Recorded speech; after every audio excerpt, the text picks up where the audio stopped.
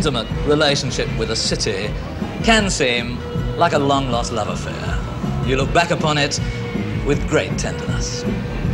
I first came here to Vienna soon after the war.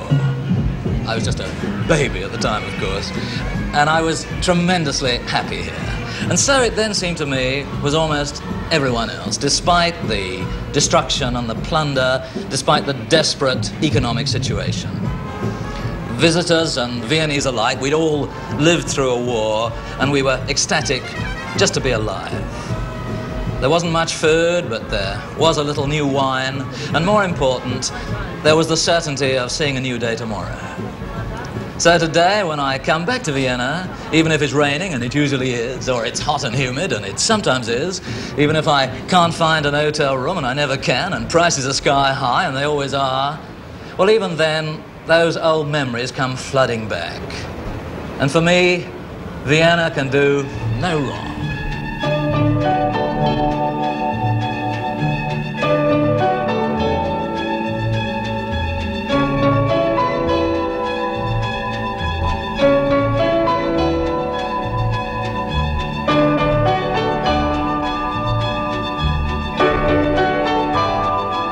Once upon a time, their very first psychoanalyst discovered sex. And they all felt so guilty about it, they sent him, if not to Coventry, at least to exile in London. For the Viennese never cared to face reality.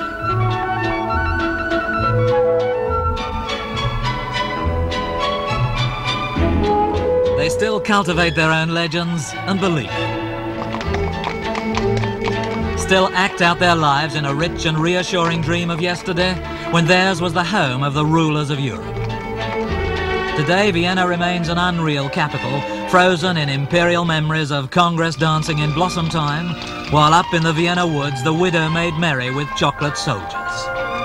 In this last romantic city, surrounded by such barockery, you search for singing choir boys on white stallions eating chocolate cake. The past seems more real and closer than today for Vienna ruled many millions for six centuries, yet now controls only a tiny republic with a population far smaller than London. But having lost its empire, this bittersweet city's learned how to be unimportant and like it. Yet amid such serene splendor, today can still intrude.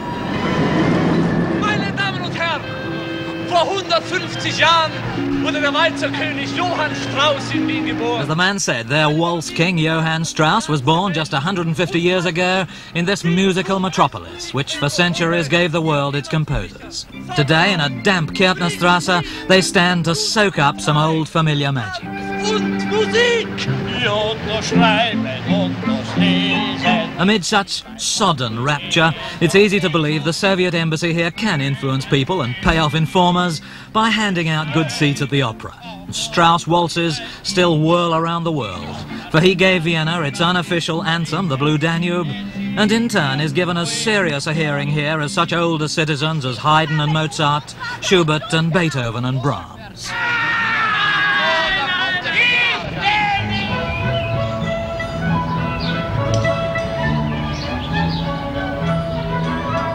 Austria today has no rich and no poor, no slums or minorities. It's a reasonable and peaceful place.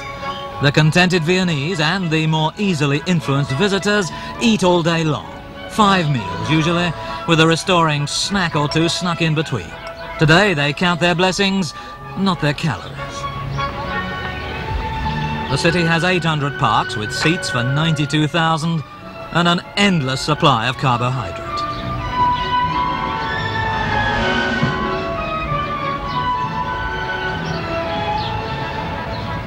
After the 1918 war, the body of the Habsburg Empire was dismembered, but Vienna, its heart, still beats. In three-quarter time, of course. Emotions can be turbulent behind this frivolous facade. The Sachertorte War between Demel, Vienna's old and elegant pastry shop founded by the chef of an emperor, and Sacher's Hotel has finally come to an end after 25 years. And most of those who come here to enjoy the spoils of victory don't realize the turbulent emotions that were aroused by these 25 years of conflict. a conflict which, it appears, is about to break out again.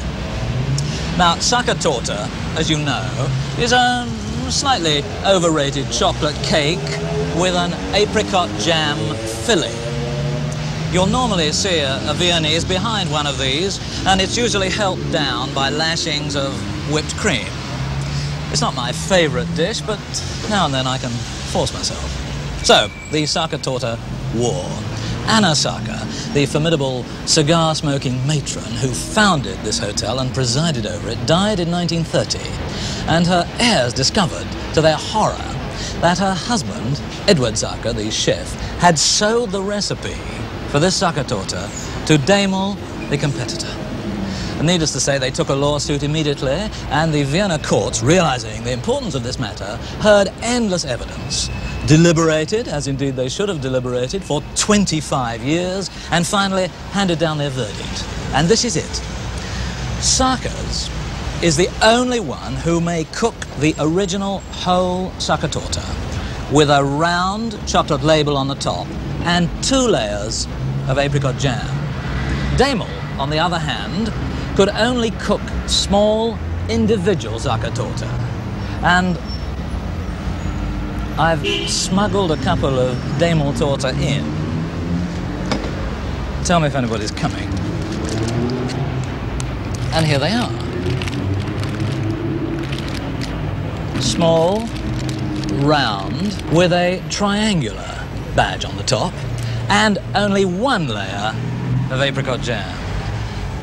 So, after 25 years of holding its breath, Vienna can now settle back and uh, relax and enjoy it. With the chance, of course, that in a few years' time, Demel's will appeal and the whole thing will start again.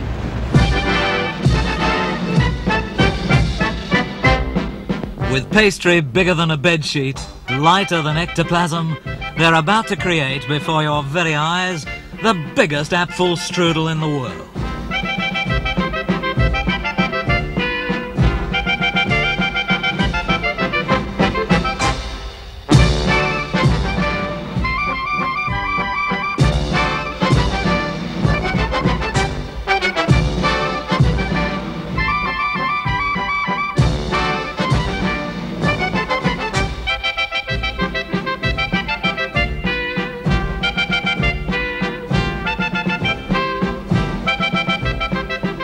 Twice in the past 60 years, this sweet life's been violently turned upside down.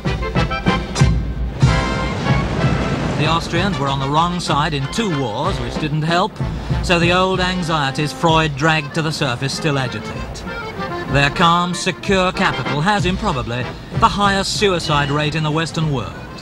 And in peaceful avenues which know no crime or dissent, little old ladies can shake sticks and wave fists. And like everywhere else, it's wiser not to argue with a uniform.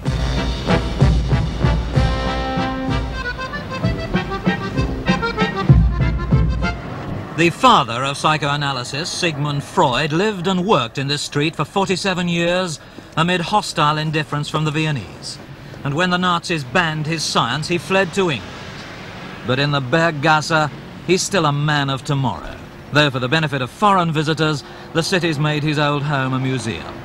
The gentle head of the Freud Society, Dr. Lingens, was in Auschwitz. This was where the very first couch was. Where the very, very first couch was, yes. Doctor, it, it's very strange that, that Sigmund Freud's influence upon the world was incalculable, and yet here he was, until today, unacknowledged and unpopular.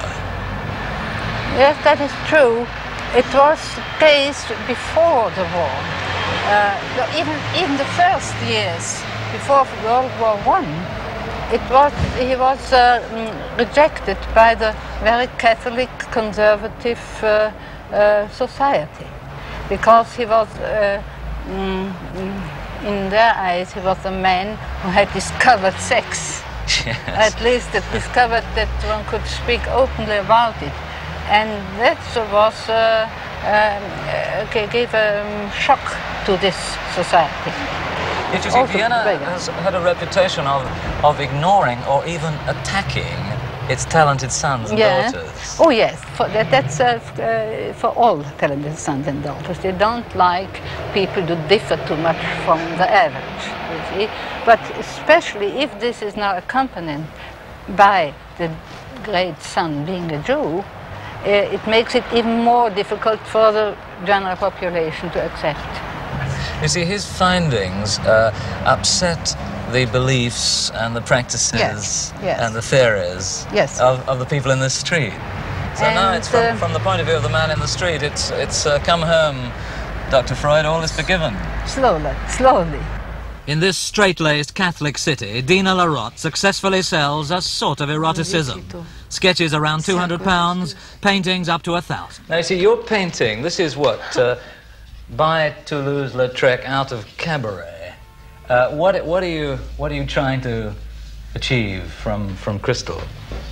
A woman with a black hat and the boots, that's a woman who, she's look like a little cruel. A woman who destroys the man. You want to do this? It's just Okay, I like this so much. It's beautiful. They can draw in, a, in this way. It's fantastic. She hasn't got much to do with uh, Johann Strauss, really. no, really nothing. But it might be that Johann Strauss would have been fascinated from This her. disciple of Kokoschka and Klimt creates a certain sweet decadence quite out of step with Vienna. You dropped a drawing pin. This I do always. It's very dangerous here in this room for models who are going without shoes. It's lucky you like boots. yes. Na, knie mal. Ja? So. Ja, dann ein bisschen. See, I'm just surprised to, to run across you in, in a, a city that always seems to me to be the most unsexy city in Europe. Uh, do you believe that Vienna is so much unsexy? Oh, I'm sorry about it, but I can't change it. Unerotic, unerotic, I think, perhaps. No, yeah, that that depends of, of the old of the old people who are living in this town, and they have become unerotic because they are all unsatisfied with their own life. If they would have had an, a happy life, they would change their mind. But the most of them are un- unhappy. That is, and uh, the young people um, um, are very very uh, puritanic also because they learn it from their parents and it is very already the young people are old when they when they are born With any luck, we'll all be old one day. Yet in Vienna, it sometimes seems it's happened already. A quarter of the population's over 60, so the place can look like a sprawling old folks' home a pensionopolis. Distrusting progress, they still hear that old Habsburg hymn calling for the preservation of the emperor, which Germans know as Deutschland über alles. In the last 60 years, the population's decreased by a third. Vienna must be the world's only capital in these days of population explosion to grow smaller and older. Doctor, Vienna is an old and grey and a tired city, and the Viennese seem to be grumpy and cranky and, and melancholy. You're a man who's lived around the world and you've been to most of the major cities in the world. What is it that, that drew you back here? I think because it is, if one would use a fashionable word of today, a city which offers more on quality of life than others. It's a city where the old are still in charge. Other cities, the youth has taken over. Here, the old people still run things, and they run things the way they want to run. I think that's a very exaggerated statement. But you've got 700,000 pensioners. But they don't run the city. the, the mayor of Vienna is a young man. Yes. With other words, it is a young generation which has taken over all So governing one person in every four is an old age pensioner. That's an elderly city. That is the effect of the war. Victor Gruen spent his first 35 years here, then escaped from Hitler to the United States. The effects which will exist for the next 10 to 20 years will be there will be a large overaged a, a population He returned as a leading town planner to live here and to advise on the transformation of the city centre. Which has meant banning cars and building an underground railway. You see, I find it very hard to adjust to the fantastic upheaval that the underground has caused here. That, uh, that in order to preserve Vienna, you have, uh, you have made the city suffer for 10 years, have you not? For a city which is, with a history which goes back 2,000 years, it certainly pays to sacrifice 10 or 20 years of upheaval in order to improve the city because it's a small a time section of the entire life expectancy of the city. You see, I'd no idea. I know in London where they're building the Victoria line, they take a modest little corner of Green Park and they, they go down and underneath they burrow away. But here you unzip whole streets. Stephansplatz, the Piccadilly Circus of Vienna, and once a graveyard. To build their underground, they tunnelled within a couple of metres of this Gothic cathedral, which survived, though only just, the bombs and battles of the war. Fortunately, St. Stephen's nurtures a patron saint and protector. Not a mad organist, but a sort of recording angel. His bell has not yet tolled for these subterraneans whose advance of 10 yards every day, deep beneath the cathedral, is monitored up here. Herr Liebscher is the engineer who records vibration and can halt tunnelling should the 700-year-old fabric tremble. For a bird's eye view of the cataclysm which has hit Vienna in the name of progress, I went into space in that insecure cage.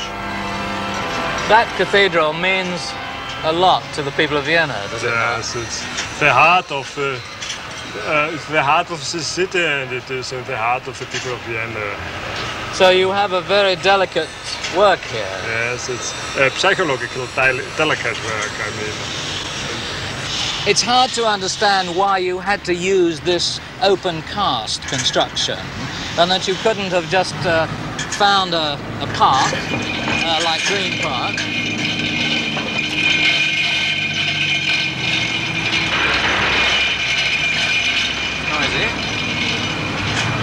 This seems to be a good moment to tell you that I'm very frightened of heights. you see, I first saw that cathedral when I came here in, in 45, when it had no roof and it was, it was just a ruin. Aren't you terrified that what you're doing now could leave the cathedral in the same way? No, no, never that you had 12,000 people buried down here at the time of the pestilence. Yes. When you were when you were digging, didn't you? Uh, well, we found some bones and so. But if 12, if there are 12,000 skeletons down here. Yes, it was not. Uh, there were was not so much. And the most of them, I mean, there was no skeleton or here. There were only dust. Were any of the workers a bit superstitious uh, or fearful of working amongst the dead? No, no, no. It's usually in Vienna you can find very often some uh, some grapes and some uh, deads in the ground, and if you make a sewer uh, other works, you always find them. Vienna's joy of living blends with its death wish. So the historic trappings of the grave are on display in the macabre Municipal Funeral Museum. Among the exhibits, the contribution made to the Austrian way of death by the Emperor Joseph II. He decided, he made a law, and five men came with a coffin in the home of the dead man, and then they put it in the coffins, and now something very uh, um, interesting is happening just for saving the coffin for the next funeral and for the next man who will die. The fifth man was just standing here. He made so, and then the body just fell in the grave. But even today, it seems that the Viennese, with their well known melancholy, do look forward to death. Yes, I would say yes. And it would be a mistake to think that uh, the Austrians feel only well or feel only gemütlich uh, outside in the vineyard after having drinking a few glasses of good new wine. No, uh, they have a kind of uh, gayness which is full not only of melancholy, but a kind of, I could say, preparation. They, they, they want to be ready when, when they have to go. And of course, unfortunately, the majority of the people, when they come to Vienna, they, they hear the songs and they are singing. But the words, this is so fascinating. Those very simple folkloric songs, and most of them deals with saying goodbye, being ready, going away. You know, there were many people who were afraid to be buried alive. So they had something very exquisite. They put a bell with an underground wire, and then in a room where a man lived, this was a Totengräber, The Death the Death Watcher. Can I show you just a minute how it was? I'm the dead, I'm the corpse. You, you, you. Uh, oh, so now. And then, if uh, somebody would awake, he would move a little bit, please. what would happen? Yeah, what would happen? Oh, I'm alive, I'm alive. And I'll be back with you in a couple of minutes.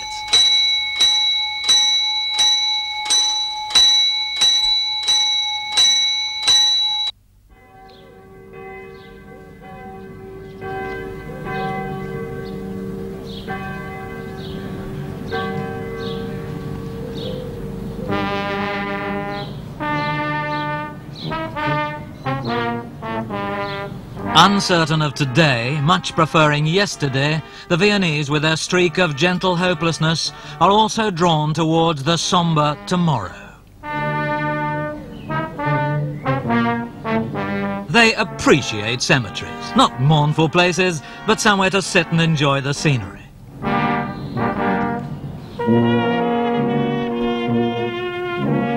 They call a corpse a 71, the number of the tram that brings you to this array of monumental masonry, which they say is half as big as Zurich and twice as funny.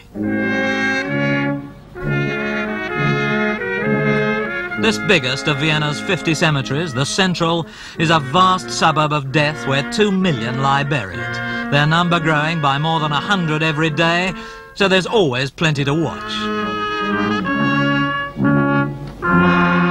Viennese will save for years to leave the world in style.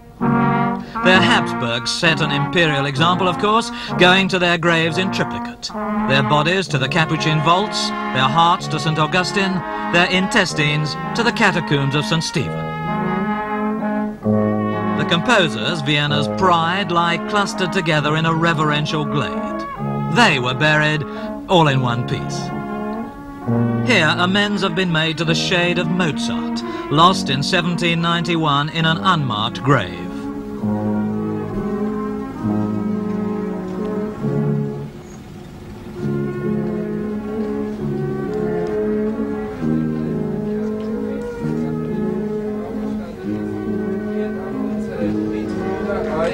The family of Dr. Eugene Danner invited us to join them today. He's accompanied to his resting place by moonlighting singers from the State Opera.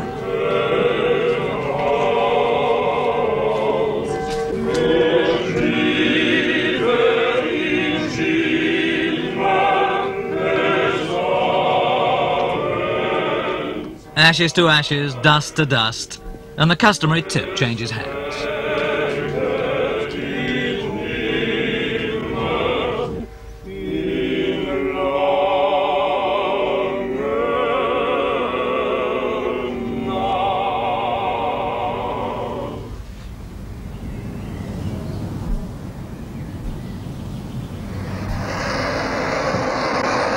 Not another shroud in preparation, but part of the uniform of certain grave diggers and chimney sweeps, magicians and diplomats.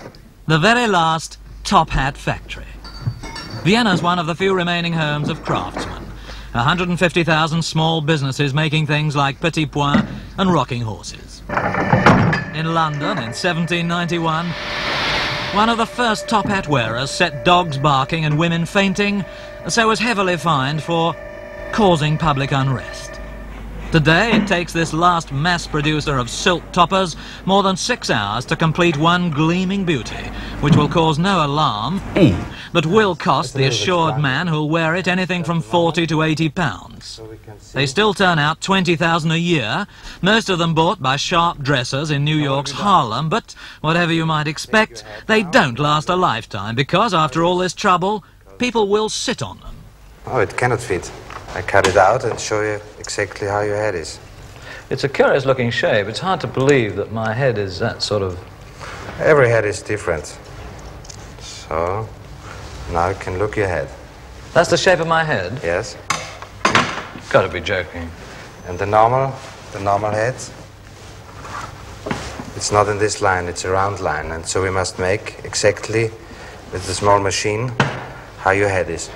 What do you believe, Mr. Habig, that a top hat does for a man? I think many things. If you're a small man and you have a nice girl who is a little bit bigger than you, and you put the top hat on, and then you are a little bit bigger. If it's big... better than better than elevated shoes. You mean? I think so. Yes. Yeah. The police, I believe, originally wore them in England, at any rate, the peelers, to protect their heads from things being thrown at them from windows. Now, it may be that if you wear a top hat, you're going to need protection. The sight of a top hat used to spread fear in Vienna, for it was standard headgear for the Emperor's secret police. So in this home of Freudian angst, the harmless old hat became known as an anxiety tube. Wonderful. Oh, I think you look 20 years younger. it may make you feel distinguished, but it tends to make you look a bit of an idiot.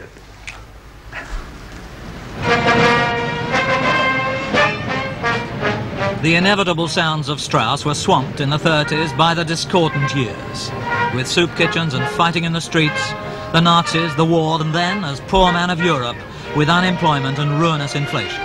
If such depression sounds unhappily familiar to us today, it's encouraging that Austria's risen from ruins to riches. It may be trapped in waltz-time memories of imperial grandeur, but the gross national product's increased five times in the last 20 years, so it hasn't been dancing all the time.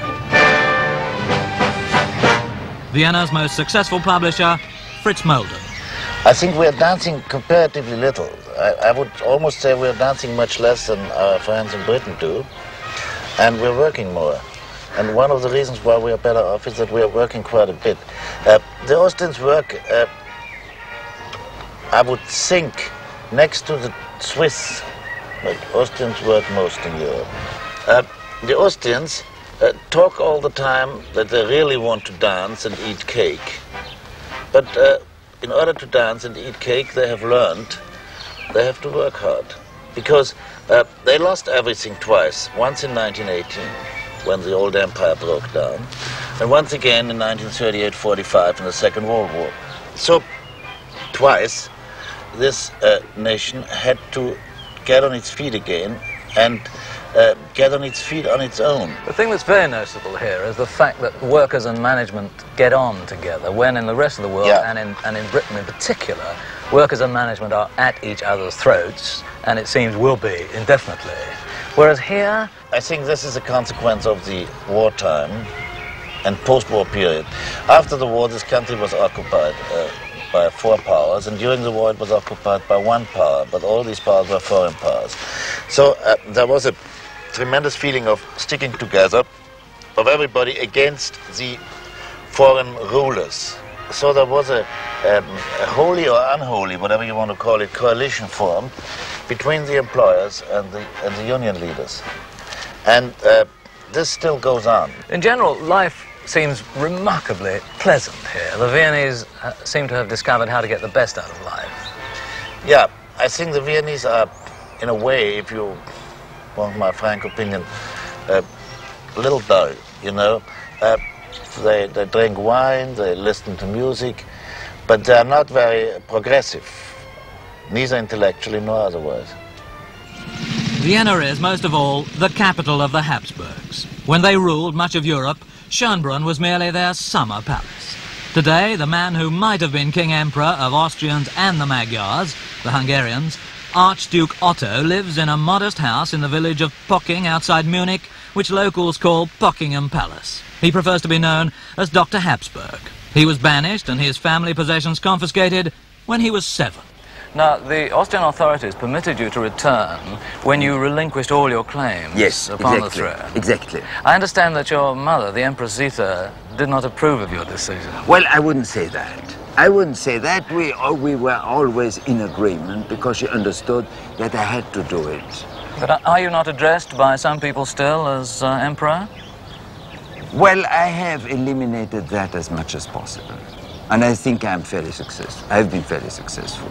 I, of course, try to do it in, in the, uh, so as not to hurt their feelings, but uh, it works. It would seem to me that Vienna, which is uh, such a, an old and, and grey and, and baroque city, tends to make everyone, including yourself, look backwards, when I'm sure you'd prefer to look forward. Well, it does, you see. It is a city which, at least at this time, is very much turned toward the past. But this is really the tragedy which befalls all cities which have their wall. You see, uh, we are talking a lot about the wall of Berlin. And we forget that Vienna has had its wall for 25 years, with the one exception that the Vienna Wall isn't visible in the city itself, but it's a few kilometers from here toward the Czechs, toward the Magyars. We have here still impenetrable borders. And the result is that Vienna today is a dying city to a certain degree. You see the uh, percentage-wise importance of the old in relations to the young is most unfavorable. And that's quite understandable because the whole movement of the population goes from east towards west. Vienna always lived from the Danubian basin. As far as human elements are concerned, look at the telephone book. The names are all Czech, Hungarian, Jewish, whatever you want, but it's all names from the, uh, from the Danube basin. And now this all is cut off. So it is quite understandable that Vienna is a sort of terminal station. And when you come with by railroad or by aircraft, there is nobody who continues beyond Vienna, or nearly nobody. Uh, the last people get off the train here in Vienna. And that, of course, makes that the city is uh, in a very difficult situation.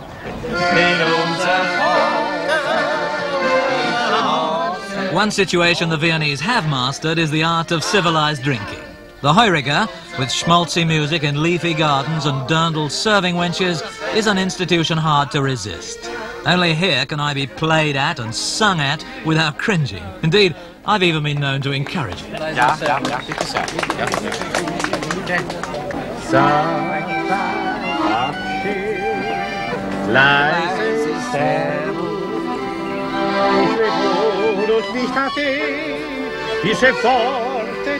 So weh, doch das kleine Wörter Servus ist ein lieber letzter Gruß, wenn man Abschied nehmen muss. Es gibt ja Rausjörei an einem neuen Wein und eine neue Liebelei. Sag beim Abschied leise Servus, denn gibt's auch kein Wiedersehen. Einmal da war es Wine houses around Vienna have sold the produce of their own grapes since the days of the Roman legionaries. Their Heuriger wine, the year's pressing, is light and slightly sour and seems mild as lemonade. But those who've earned their morning after headaches make sure to dilute well or, being Viennese, mix with food. Dankeschön. Even so, it can hit you behind the knees or uh, go to the eyeballs. On the water meadows of the Danube, six square miles of peace or friends. The Prater, imperial hunting ground opened to the public just over two centuries ago by the same enlightened emperor who brought you those reusable coffins. This fairground, in one corner of the park, gave Vienna its symbol, the big wheel. Built nearly 80 years ago by a firm of English engineers called Bassett. It kept turning even after a world war, as we saw in The Third Man. Vienna, between east and west, is still the ideal background for such spy thrillers as resident novelists like Sarah Gainham appreciate. And there must obviously be an awful lot of spies of all colours and sizes and shapes here. But you don't see them in the ordinary, I mean, they don't, have chases through the opera, like in a James Bond movie or something. And what about the Viennese? The, the character of the Viennese? Uh, one knows about their noted melancholy and their, their All their songs, yeah. They slow. They move more slowly than other people, it seems to me. There's a bit of peasant in them still. Because they're very conservative. They don't want a new house every five minutes, or even new furnishings, because they feel uncomfortable with new things. The fact that two thirds of those houses haven't got bathrooms, I suppose, suggests that their demands are not too high. No, they're not. They don't make great demands on life. I don't know to what extent they were they were shocked into responsibility I think quite a lot. by Hitler and by I think the war. quite a lot. And they recovered from all their internal dissensions and things, uh, quite literally, as well as figuratively, in Dachau, where they were all shut up together for several years. All the politicians, I mean. And they've never really quarrelled since. There really are no politics anymore in Austria, not as we understand them. And then the Russian arrival, which was even Ah, well, I was cured of, you know, in, as you will remember, everybody in England admired and even adored, in a sense, the Russians in those days. They were thought to be absolutely splendid chaps, and uh, as is true, that they'd won the war, and that is true, of course. And to see them as they really were was a shock I think I've never recovered from. They didn't behave very well. They looted uh, the part of the country which they occupied, and they raped uh, a few hundred thousand women here. And I would think it's a member of every second family. every other family in Vienna? Every other family in Vienna. But uh, subjectively speaking, you don't forget it if, if, if your sister or your mother has been raped. And, and that is something which, in a way, has also helped the basic relationship between the social partners in this country because it made it impossible uh, to infiltrate for the communists, the unions in this country. Because if you are a communist, until recently in this country, you were automatically considered a traitor. The occupation ended exactly 20 years ago, and the Viennese watched the Red Army march out. It was the first time Soviet troops had ever given up territory. They left old headquarters where, under the chandeliers in the ballroom of the Imperial, Ukrainian soldiers slaughtered oxen. They left a shattered local communist party. The Austrians knew how it felt to live for 10 years with communism. So today, the communists only get about 1% of the votes. They left this city of statues one unavoidable monument, its permanence built into the peace treaty. And the Red Army is still in Hungary, just a few minutes up the road. In the heart of this self-indulgent city, other monuments to other times, erected by Adolf Hitler. Six anti-aircraft towers built in 1940, which neither Allied bombs nor Russian shells disturbed. Their 16 stories of concrete and steel have also defeated Austrian engineers, for to dynamite them would demolish the surrounding districts. Hitler, who was wrong about almost everything, said his Third Reich should last a thousand years. And as far as this monstrous part of it's concerned, he may well be right. The Nazis drove out or killed most of Vienna's quarter of a million Jews. One of those still here has become the conscience of the world, pursuing war criminals the rest of us have chosen to forget. Simon Wiesenthal still believes there's no closed season for Nazis. But his 30-year crusade does not always please the Austrians. Oh, yes, sure, they are not happy with me. Uh, they are not because I am disturbing. Uh, I published also the party numbers of uh, members of the government because they had the, the head of the government uh, is a Jew, he say is a formerly Jew, but we have a few Nazis in the government. You know, this is uh, not a very nice composition. See, with all this Gemütlich around here, one tends to forget that, in fact, the Austrians were some of the most uh, avid Nazis of all, the most avid SS men. Uh, you must know, um, the biggest Nazis was coming from Austria. Hitler was an Austrian, Kaltenbrunner was an Austrian, Eichmann was coming to Austria as a child of four years, Globocnik. Uh, Austria was only 8.5% uh, from the population side in the greater Germany, but they are Austrians, people from Austria, not Austrian as the population, but people from Austria are responsible for uh, between 30 and 50 percent of all crimes. the, the staff of Eichmann, 80% was Austrians. Yet Austrians uh, seem to be an amiable and, uh, and, a, and a gentle This people. is not has not uh, not to, nothing to do with the character of the people of Austria. You can have in every country you will find people you know they are they can commit crimes, and they was very very proud. Many of them was proud that Hitler was coming from Austria. Of, of all your, your potential victims, those you seek, are there any in Britain? No, no. We're clean, are we? I don't know if clean. we have no information. There was a few little people, a few little people. That's not important. But they emigrate later to Canada. The we have now in uh, in United States, after so many years, we find about between 75 and 80 people. I don't know accurate. Is, uh, we have a man. He is a bishop in Chicago, a Romanian Orthodox bishop. We have pictures of him with a rifle. He was responsible for a pogrom, for a mass murdering Jews in Jassy. But he's still a bishop in the meantime. He's a bishop. He's a bishop. We have another man, he's a professor in Los Angeles. Do you feel threatened yourself here? I mean, you have a lot of protection in there. You've got your closed circuit Yes. television. Yes, You've got your sure, revolver. Sure. Uh, we are living in a crazy world, as I say before, and we must be prepared. Uh, But are you thinking of one madman, or are you thinking of the fact that the people in this square just don't like you and what you're doing? Uh, look, if a man like I is taking all in account, he must close the office and to go for vacations. And I cannot stop because our office is the last office in the world. And if we will close, this all murderers will say the Jews they giving up. And so I am responsible for their bad sleep in many, many countries. And this is also a part of the sentence. If after 30 years they cannot rest.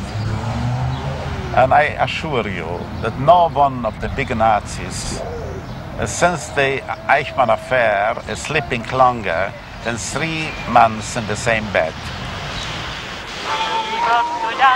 Mein Kamerad, sollst in der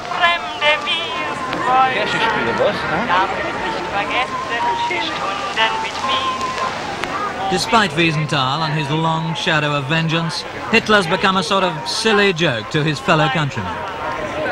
Will dir mein kleines Herz schenken. In the Am Hof flea market, Nazi relics are popular and expensive. Wie viel ist das? Ja. 600. An old iron cross for 16 pounds. Soldat.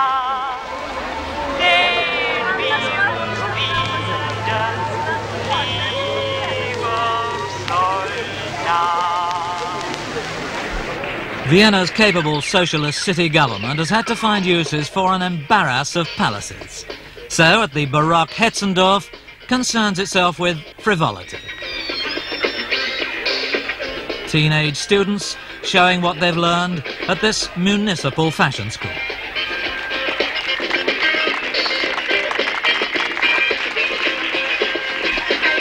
Austrians enjoy such parades almost as much as they adore the titles they banned more than half a century ago, though princes and palaces still go together like Wiener and Schnitzel.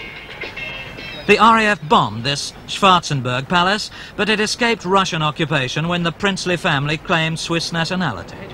So today, in one wing, there's the Swiss embassy, next to a ferociously expensive hotel they've created. Their main palace can be hired by the hour to throw a stately ball or launch a new car. So today's Prince Schwarzenberg can disregard Wagnerian thunder off stage for, like a jolly gypsy baron, he's come to terms with socialism. Apart from this palace, you, you, you've got a castle or two, I believe. Yes, that's right, yes. So, although you're not legally a prince, you, you, you at least are living like one. I never still got out what is a legal and what is an illegal prince. Your position here is a is rather an anachronism, is it not? I mean, you're, Well, of course. You're, you're a nobility in a in a socialist city. Yes, well, you see, we are like, like any uh, animals of a dying out race which are still preserved, be it in a zoological garden or in other or on an island in the Pacific, and sometimes shown to other people. And we are well, we are still quite happy to live. You see. How is it that you've managed to survive uh, perhaps better than than your peers, more financially better? Well, uh, very simple because uh, we had something my late un- uh, Uncle Henry started uh, uh, with some rooms in the house and then we built it out and so on and so it became a hotel during the last years. Now we have achieved what we wanted. That the house is keeping itself up, you see. You're saying, for example, that you will never go to to uh, one of the balls that, that are held here in, in your palace because if you go to one, you've got to go to them all. What do you say? I mean, uh, here, if, if somebody gives a ball or a reception or something in the house, I'm an innkeeper like anybody else, you see. And, and it's not normal that the innkeeper go, goes to the party which is given in the house, you see. I mean, I have nothing to do there, save of, looking that, that the dinner is served in a perfect order. How do you find that you're uh, that, that the man in the street regards you now?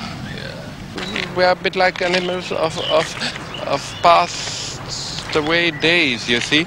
But there are still beasts which are several million years already on this world, like the hedgehog, and still running in every garden. So maybe my grandson is like a hedgehog, and due to many needles on his back, you see, fighting his way through in hundred years' time too. That's right. I hope yes. for him at least to be a hedgehog. The dinosaur couldn't compete, really, because uh, he couldn't evolve. Yes, that's it. But you've evolved uh, remarkably successfully, and Congress can continue to dance.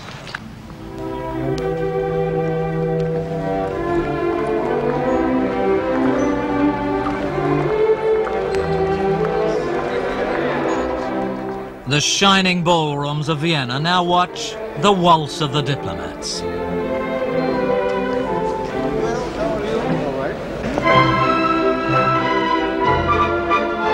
In case you didn't know, and who did, an international disarmament conference has been going on here for years. Ambassadors from 17 European countries, the US and Canada, have been meeting on our behalf beneath the chandeliers of the Redoutensaal once or twice a week ever since 1973.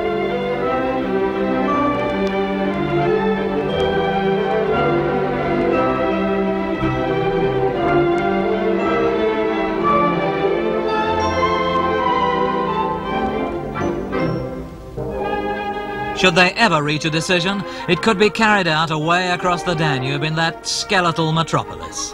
A new UN city costing around 300 million pounds and growing so vast, visitors wonder if it'll be the future headquarters of the United Nations, should it decide to wave New York goodbye. After all, the Secretary General, Kurt Waldheim, is an Austrian. UN City will be ready for its staff of 5,000 by the end of 78.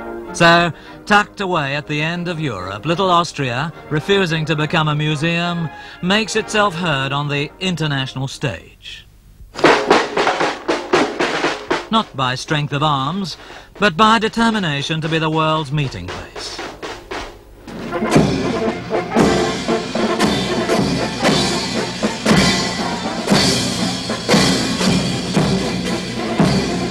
Today, on this comfortable and reassuring stage, even visiting Germans must join Austria's theatrical charade.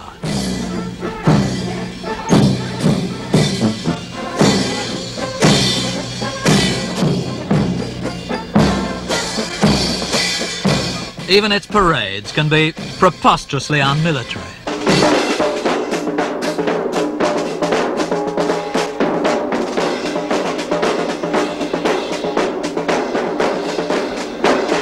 Freud may have discovered complexes here, but the Viennese are now more in step, I'd say, than any other capital. For in their city with a lilt, they understand what Baroque really means. An illusion which makes you happy is far better than a reality which makes you sad.